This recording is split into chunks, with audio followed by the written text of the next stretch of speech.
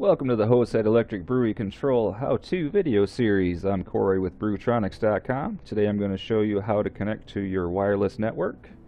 I'm going to show you how to figure out what your wireless IP address is. And I'm also going to show you how to turn on and off your Bluetooth. So first thing we're going to do is go down here by the clock. We're going to click on the networking icon and we're going to see what available wireless networks we have. So I'm going to click to My Wi-Fi. I'm going to type in my password. And I'm going to hit OK.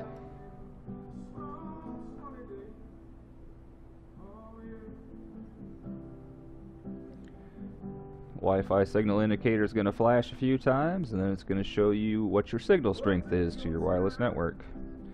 I have full service. Now if I hover the mouse over top of the icon, it's going to show me what my wireless IP address is. WLAN 0 is your wireless IP address, 192.168.43.141. Of course yours is going to vary. ETH, ETH 0, it says link is down. What that is, is if you had a wired connection directly to your router, it would show you what your IP address would be if it was connected directly. It would also show you 192.168 or whatever your IP address is.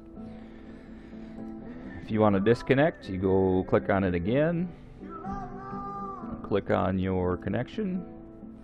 Do you want to disconnect from the Wi-Fi network, my Wi-Fi? I'm going to say OK. And now I'm disconnected. I can click on it again and connect to a different network if I need to. I can also turn on my Wi-Fi on and off. And next to that we have a little Bluetooth device. We click on that, we can turn it on. We click on it again, we can add a device.